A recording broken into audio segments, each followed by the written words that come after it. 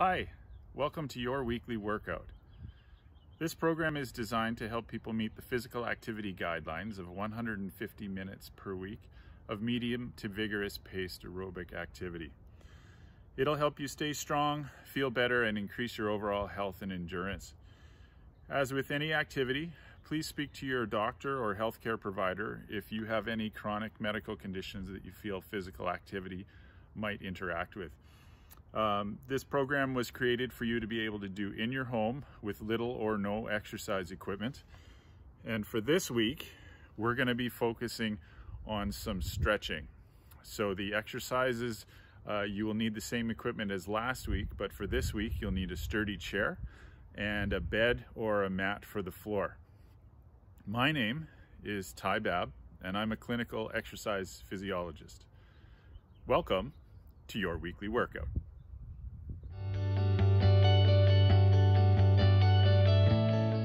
Hi, welcome back. So I just got back from my walk today and uh, I thought about building healthy habits to keep us well and strong over the years. Uh, when people are starting an activity plan, one of the things that can kind of falter is this idea of stretching or a cool down when you're finished. If we're not doing that regularly, then um, these kind of aches and pains that we get either because we've been working out harder or age-related arthritic pain, uh, they can really kind of slow us down and stop us. And so not everybody takes the time to do the stretches that will help us feel good. And so I wanted to review those today. So the workout for this week is gonna be the same workout as last week. But I'm gonna head inside right away and I'm gonna show you the stretches that we should be doing at the end of each workout. Um, so the plan is uh, accumulate 150 minutes hopefully this week of some kind of aerobic based activity. So that's walking, biking, elliptical, that kind of thing. Try for 10 to 30 minutes per day, uh, medium amount of work, medium pace. Um, strength exercises, that'll be the workout from last week. You can do that between two and four times this week. And then I'm gonna show you these stretches. And so whether you're walking or you're walking and doing the strengthening stuff, you should be doing these stretches in general at the end of each workout aim for a medium amount of work. We've talked about that. And if you feel pain at any point, you stop. And so I'll give you some guidelines on how to do your stretches in general, and we'll kind of go from there. Uh, you're gonna need a chair and a mat or your bed for these stretches. Um, and then the strength program, again, whatever you need from last week, you'll have to do that. So, um, You should be able to download a handout with all of the stretches as well. Uh, and there is that optional midweek uh, virtual conference that you can be a part of by calling the Edmonton Southside Primary Care Network if you have any questions about the content that we cover here today. So, I'll see you in a couple seconds. Let's head inside.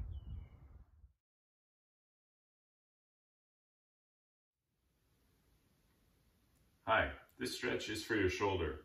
So first you're gonna take one arm out in front, bring it across at shoulder height, and then you take your other hand, place it gently on your elbow and pull it a little bit further across your body. You should feel this stretching back through the back side of your shoulder a little bit. If you've got shoulder problems, then don't pull too hard on this. Um, your hand can either sit straight out like this, or if you feel more comfortable resting it on your shoulder, then that's okay. You're gonna hold this and count to about 20. Make sure you keep breathing the whole time. When you finish, you bring the other hand out in front, straight across like you're gonna hug yourself, and then pull on that elbow the other direction for the same amount of time.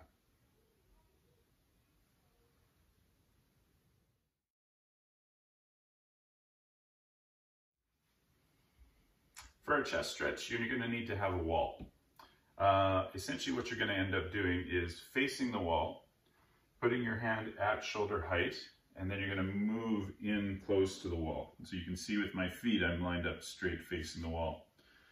Then what I want you to do is turn your feet, so you're facing sideways.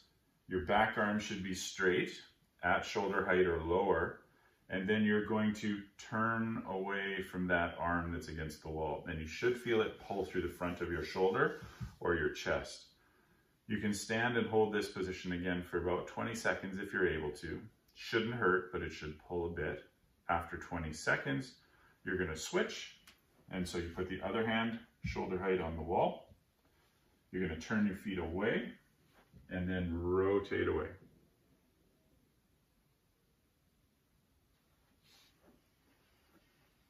Twice on each side.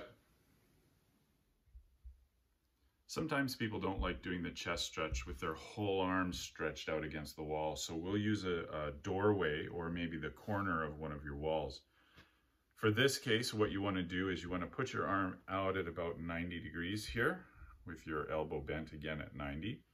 You're going to just put that gently against the edge of the door frame, or in this case, it's the corner where the walls come together. Lean into it or move forward a bit. And then you can also try rotating away. And you should get that same stretch through your shoulder here.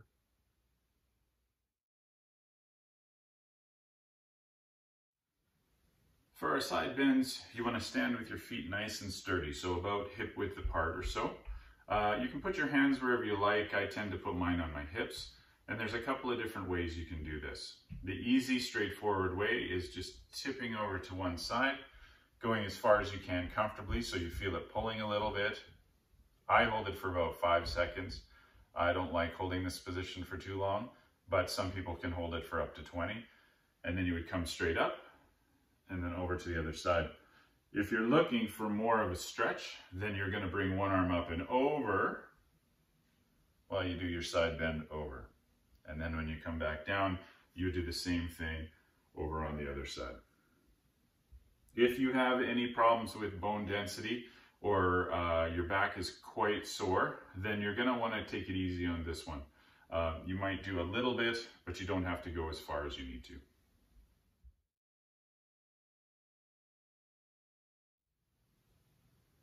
For our calf stretch, you're gonna need a wall or a chair. If you're using a wall, you're gonna end up facing the wall. Your hands should go about shoulder height against the wall, just to make sure you're nice and balanced. You're gonna place one foot forward, one foot back. Your back heel has to be flat on the ground and your back leg is nice and straight. You're not trying to push the wall over, it's just here so that you don't tip over at all. And so with your hands against the wall, you're gonna bend your front knee and bring your hips forward until you start to feel it stretch through the calf muscle down there. Once you do, you hold that position for 20 seconds and then you switch. Keep the back heel down, bend the front knee, and you're good. Uh, try and keep your eyes straight forward. I'm obviously looking at the camera so I can speak to you, but you want to keep your eyes forward and just relax and breathe while you hold this position. Two times on each side.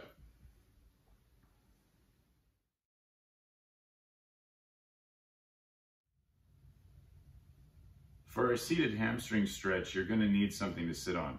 A sturdy chair, again, is a great idea. If you're picking something from your home, you need to make sure that it doesn't have any wheels, so it can't move around on you.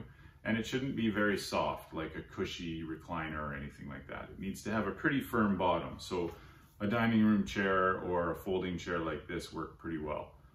Um, the way you want to set up for this exercise is your bum is going to be right on the front edge of that seat. So you've got two little bones in your bum here. We call those your sit bones or your ischial tuberosities if you want to get techie about it. Um, so those are what need to be sitting on the front of your seat.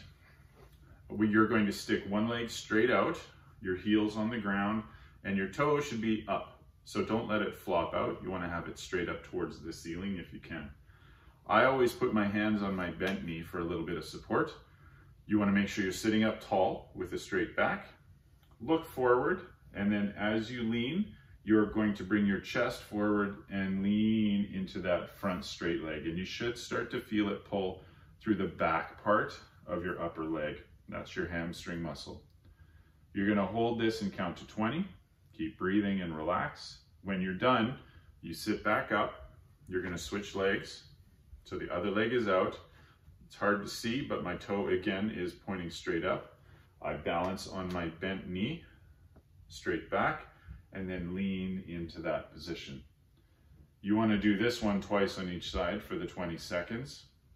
This is one of the two that's great for lower back relief as well as knee and hip uh, relief from stretching.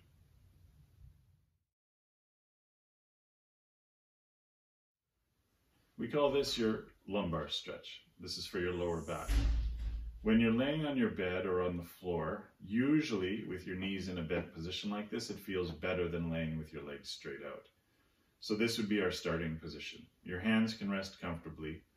What you're trying to do is to rock your knees to one side as far as they'll go comfortably. So for me, I can get almost all the way over. For some people, they won't be able to go as far. You're gonna hold it for a count of 20 and then come back up and then do that again to the other side. While you go over to the side, you're trying to make sure that your shoulder, opposite shoulder, stays on the bed or on the floor. And just relax. Twice on each side is what you're aiming for. If you find that you can't hold it for 20 seconds, then you can just do a slow rock from side to side as far as you can. And that kind of tends to loosen things up in our lower back here as well.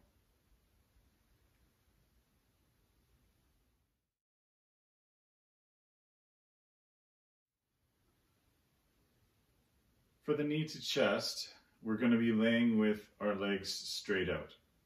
If you can manage that comfortably, then what you're going to do is you're going to bring one knee up.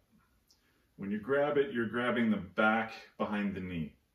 Don't hold it on top. If you're pushing like this, it can compress the knee, and if you've got knee problems, this will hurt you a lot. Or if you have a fake knee or a total knee replacement, not a great idea.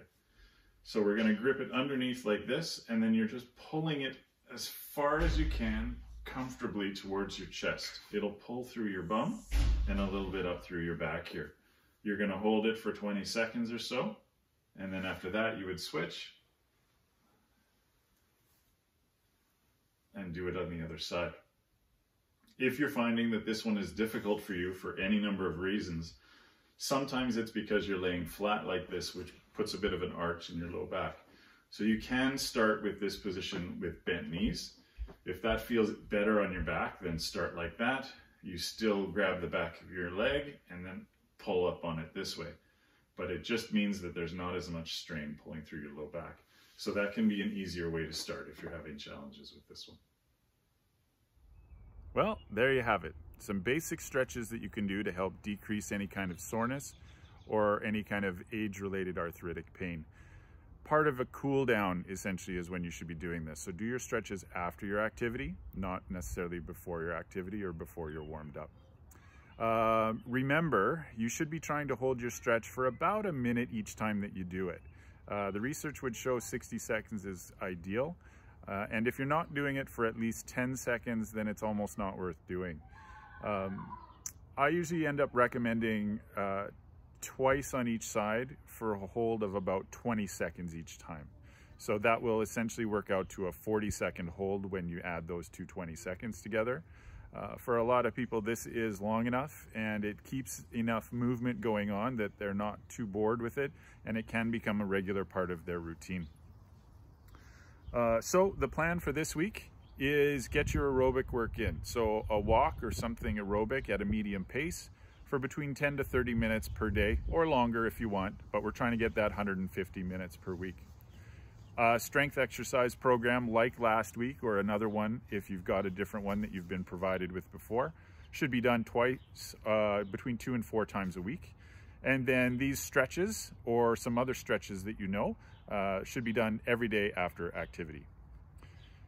So that'll be your workout uh, remember to look for the handout uh, with these stretches and to call for that midweek virtual connection or check-in if you would like that support or if you have any questions about the content that we've covered here today. Uh, that's it for now. I'll see you next week.